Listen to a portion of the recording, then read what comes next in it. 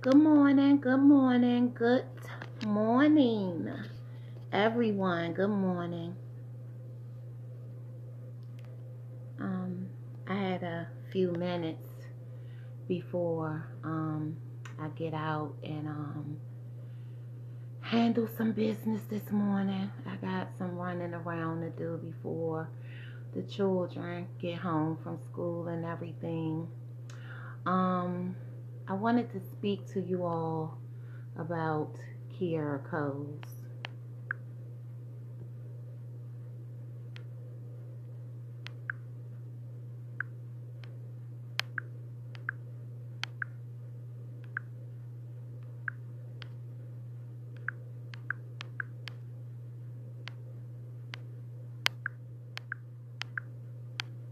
Kierra Coles. That's what I want to talk about this morning.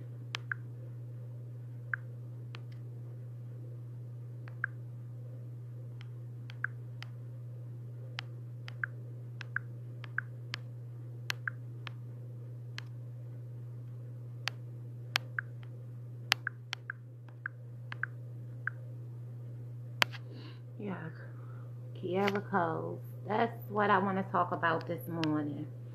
Um, yesterday, had got tagged in a video um, that was done by um, King Bookbag. He's a young man from out of Chicago, Illinois, who has been advocating for um, the young 26 year old Keisha Coles um, who went missing. Um, it's been 11 months and 14 days since she has went missing. Yesterday um, was her birthday. Um, she was missed went went went missing. She was pregnant. Um, April um, became her due date. Um, she was you know, like I said, still missing and everything. But it was a video done by a young advocate in Chicago, Illinois, who had been advocating for um, Kierra and um, he made some. How I wanna. He made some very um. Mm, he said some things on that video yesterday, and um, it was some things that were incriminating the family, um, making it, you know, look like the family had something to do with her disappearance. And um, it was some things that was said um, that was supposed to be receipts and proof and, you know, all of that on, you know, um, on why he felt like, you know, they had something, they, they were responsible for her disappearance. One of the um, reasons that, you know, he said he claimed that the family did not want the information. Like she, it was a video of her the um, day that she was supposed to have disappeared, and um, it was a video of her, and it was supposed to be her walking to the car, to her car, but the person they claimed that was in the video, it wasn't Kierra, okay, and he said that um, the young advocate said that the family did not want that information to get out. You you understand what I'm saying? They didn't want the information. It was some um, screenshots of conversations that the mom had with him on discussing the fact that letting the public know that that wasn't Kierra that was seen in the video. Okay. Now, with that being said, a lot of times, okay, I'm going to tell you something when it comes to missing person cases. Missing person cases are very, very hard to solve. They're, they're even harder to solve than homicides, okay? We have more unsolved cold case missing persons um, cases than we do have homicides, okay? And that and I'm talking about three times more, three to four times more missing person cases, unsolved missing person cases out here than we have when it comes to homicide, unsolved homicide cases, okay?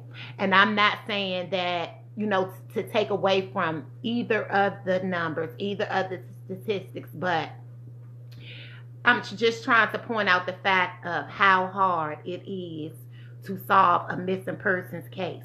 Okay, it's hard for the prosecutors when they do get information.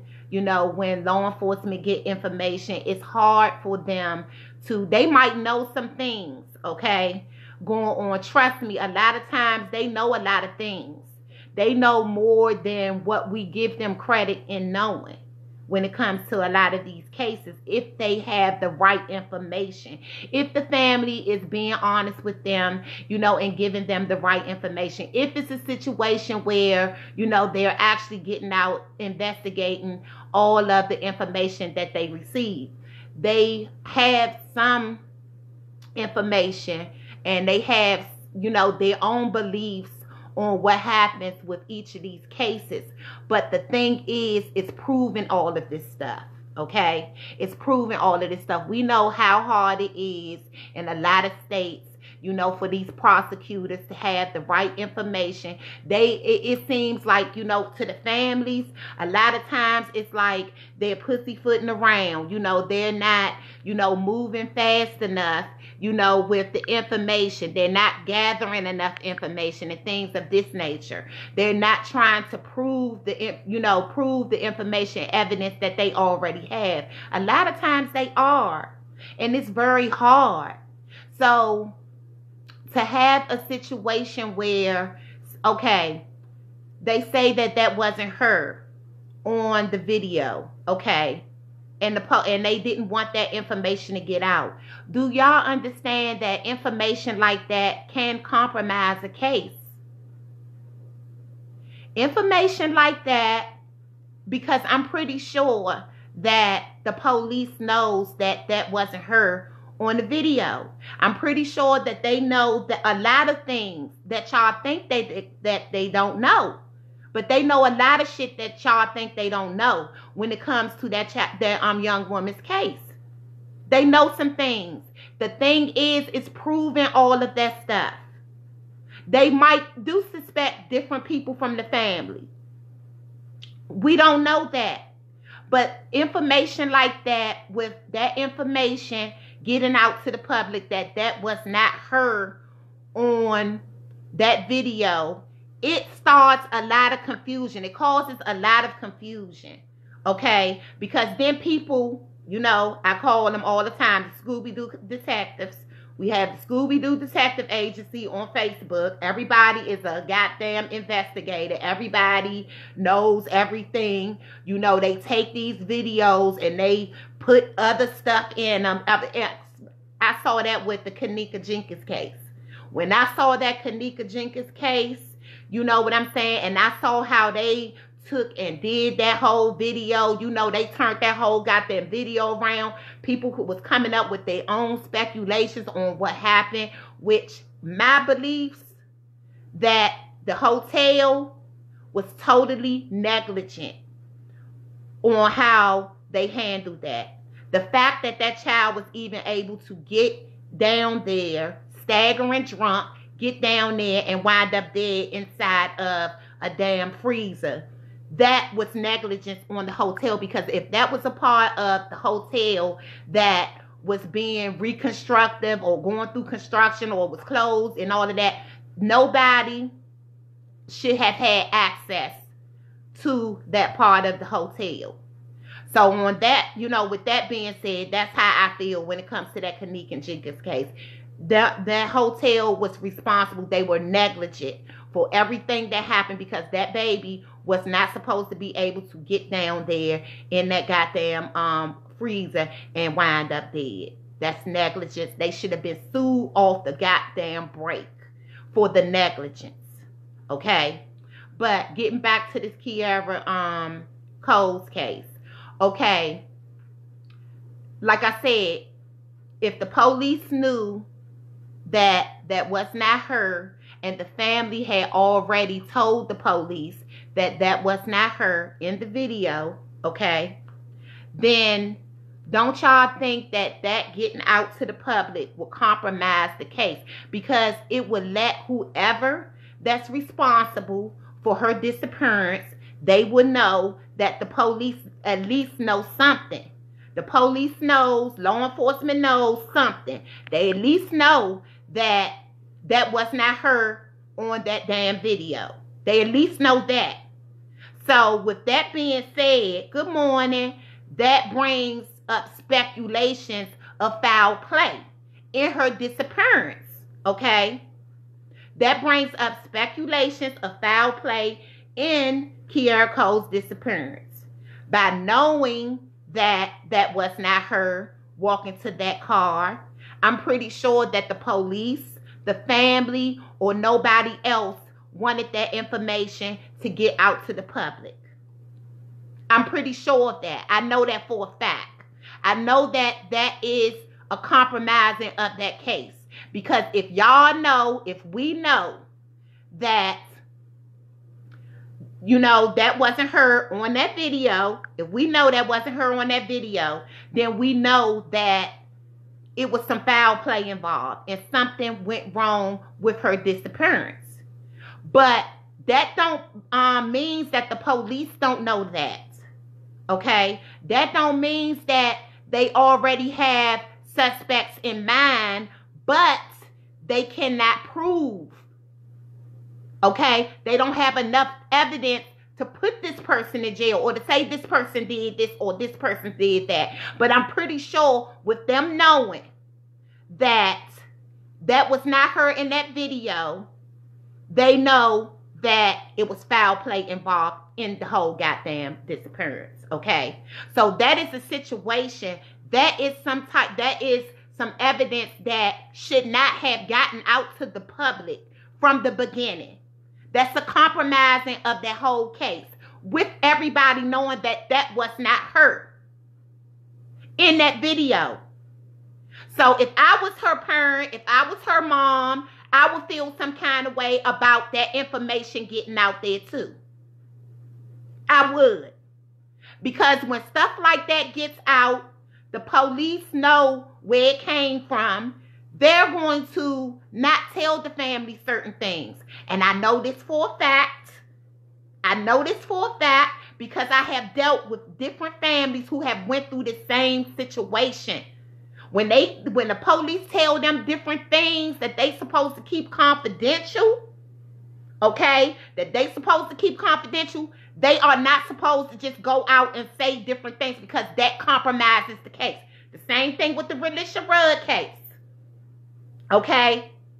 It was so many different things that compromised that whole case. That's why this baby has not been found in goddamn five years. It's surpassing five years now, and Relisha Rudd has not been found. Why? Because most of the goddamn evidence, like they already knew different things that was going on. Don't think that the police don't know what's going on with that case. Because they know what's going on with that case as well. It's just having the proof being able to get these cases because when they get these cases it's hard as hell for prosecutors to prosecute these cases and get convictions.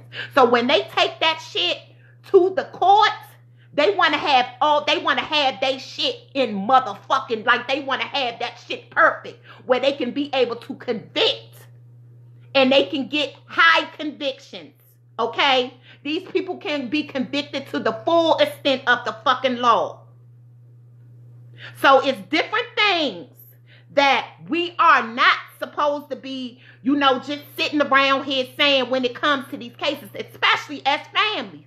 It's when the police tell you something, that shit is not supposed to get out to nobody. It compromises the case.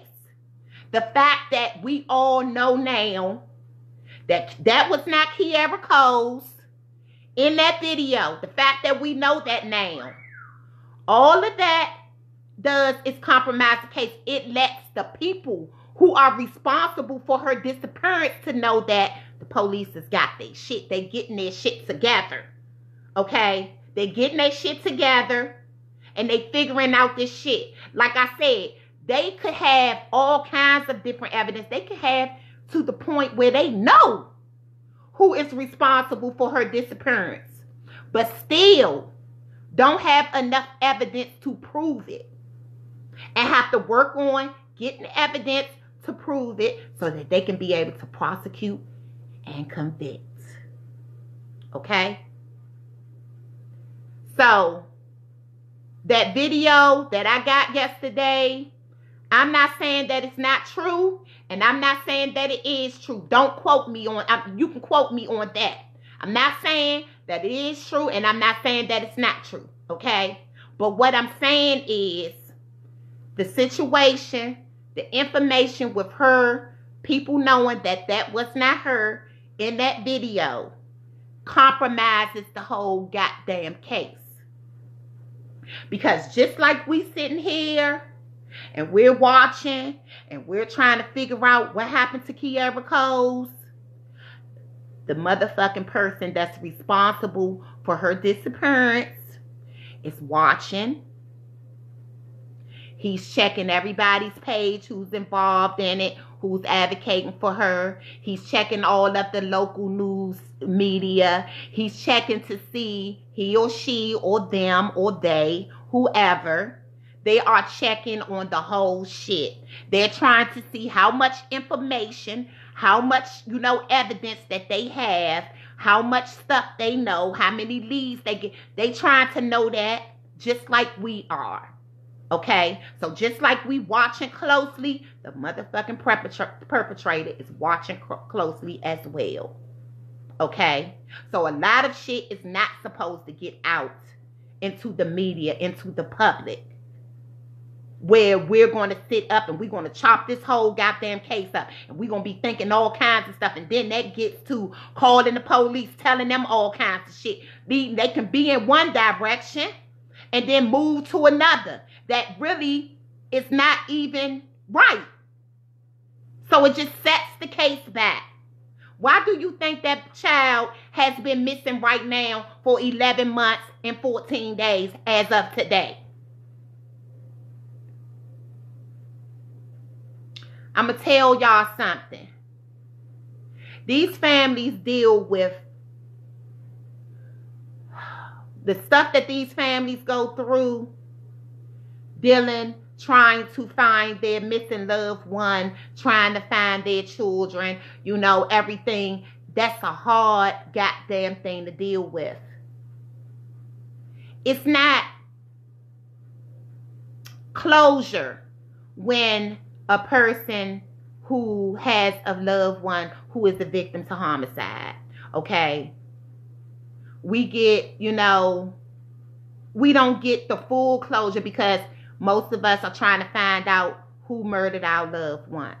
But at least we get to know we can put our loved one in the ground. We get to know where they at. The families of missing people, they don't have that advantage. Okay? They don't know what happened to their loved one until they find their loved one. And then it still takes time to find out what happened to them and who did what they did to them. It's very hard. All of this little shit that we call ourselves out here doing being investigators, all of that type of stuff, not educating ourselves on the dynamics of missing persons is sickening. I have seen so many cases fail because of that. So many cases not get justice because of that. So many missing people out here, cases going 30, 40 fucking years, two, three, four years because of us people out here that's out here, you know, putting all of this stuff out here on social media, turning the whole case around. Like I said, the police, law enforcement, they have a hard enough time as it is solving these cases finding our missing loved ones. They have a very hard time on doing that, y'all. It's not easy. Missing person cases are very hard to solve. That's why we have so many of them. And that's very hard to solve because we don't have a lot of the laws put into place to even give the families, you know, a leg to stand on. Most of these families don't get the media attention. They only have people like myself and a lot of the other advocates out here, you know, to get the information out there to spread awareness on their missing persons case, on their missing loved ones case. So we have to be accurate. We can't just be putting out all of this bad information. You know what I'm saying? Even if you felt something in your heart. Sir, if you felt like, you know, young man, if you felt like, you know, they were responsible for Kierra's disappearance, the first thing that you should have done, okay, was went to law enforcement and let them know what you knew. If that was the case. Now get on to social media and say things the things that you said and then because of the fact that the family did not want you know, us to know that that wasn't her in that video and they didn't want to mention that. That's like I said, that is something that could compromise that whole case with us knowing. Because just like we know that that wasn't her in that case now, the perfect person who is responsible for her disappearance knows that know that too. And they also know that the police know that. So they also know that they ha- are not going to get away with this. So they also know that they're going to be looking and they're going to be finding out what the fuck happened to her. Okay? If you don't work for law enforcement, you don't know, you know, and you know some things because that that right there, when you know shit like that, and that was a lot to know. When you know some things like that, the first fucking thing I would have done was contact Chicago police. That was the first thing. That would have been the first thing that I done. My coffee getting cold. That would have been the first thing that I done was contact Chicago PD. Missing persons and let them know all of that information not get on social media. Because that information even compromised the case even more. Because suppose the police knew that. Suppose the police knew everything that you said, you know what I'm saying, and they was looking in that direction. That compromised the whole fucking case. Okay? So, with that being said, we have to, like I said, do better when it comes to spreading awareness on these cases.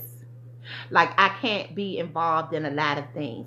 The only thing that you're going to see on my page is accurate information. Just like the little girl, Avania um, Weaver, who went missing. Okay, I got and and come to find out she was put into you know she had was into sex trafficking and the mother and everybody knew that shit but instead of them going to the police telling them you know that hey i believe that my child has been put into sex trafficking okay they went and they filed the missing persons report like i told somebody the other day just they are very aware of the epidemic of sex trafficking, especially with underage girls.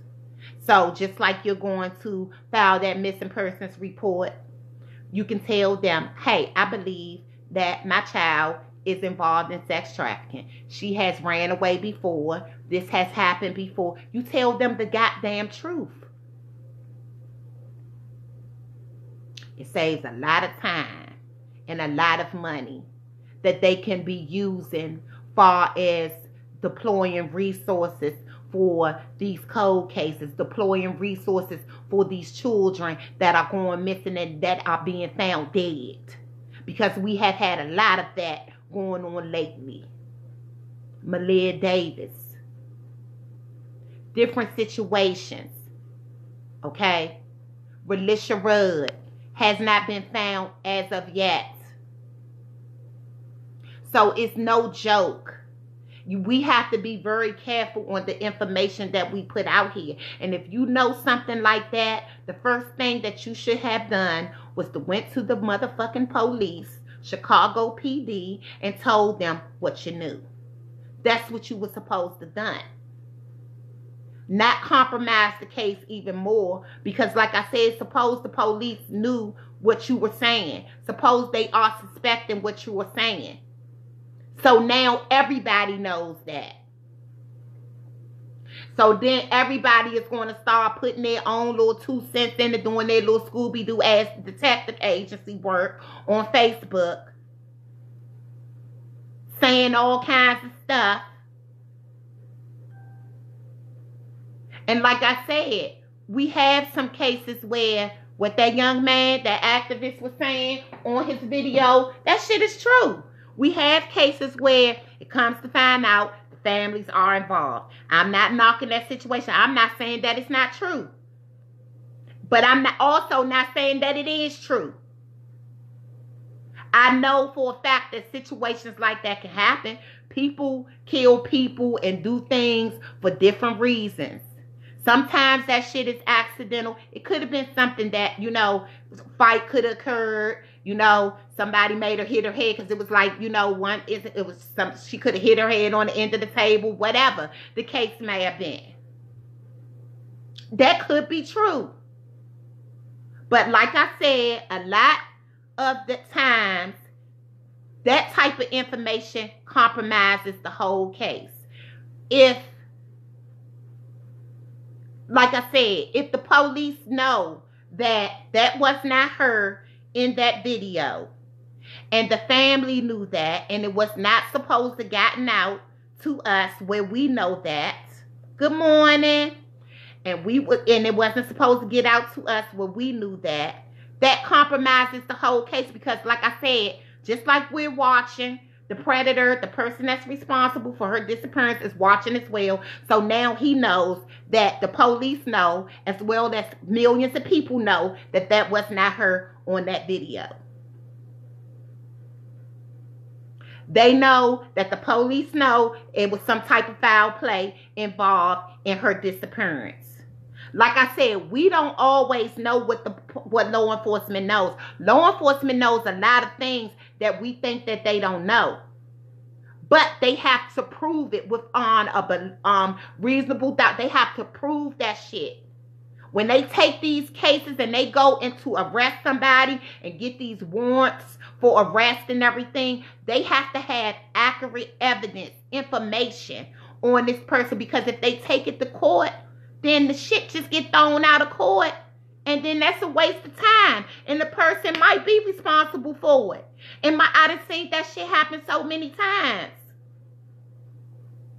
That was not something that was supposed to that we supposed to know. It wasn't. So if the mom didn't want that information to get out she had a right to feel that way. That compromises the case. Anything like that to let us know that it was foul play in her disappearance compromises that case. That's something that the police probably already they know that. I'm, I know they know that that was not her. Whether the family said it was her or not, the police know it wasn't her. The girl was too damn tall for one thing. You can clearly see that that was not Kierra on that video.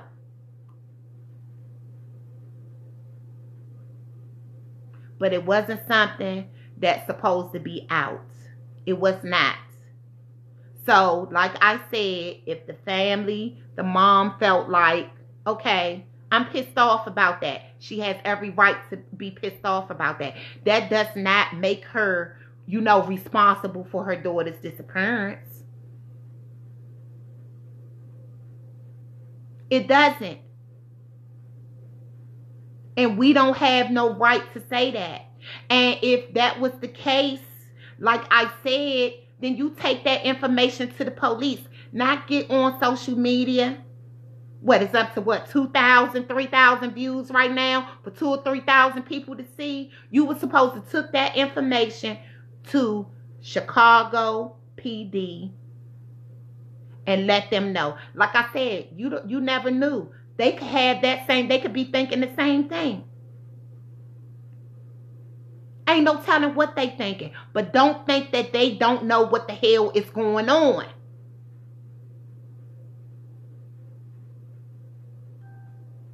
Don't think that. That's why a lot of these cases go unsolved. Like I said, that's why we still have Relisha Rudd missing for five years. When I first started in radio, that was one of the first cases that I started doing my own little look into because I knew she was missing. Being from DC, that's all I heard about when she first went missing. But I didn't get into the dynamics of the case. I only read, I didn't even read a lot of the things that was mentioned, you know, on me, on social media, on the news, all of that stuff in the newspapers.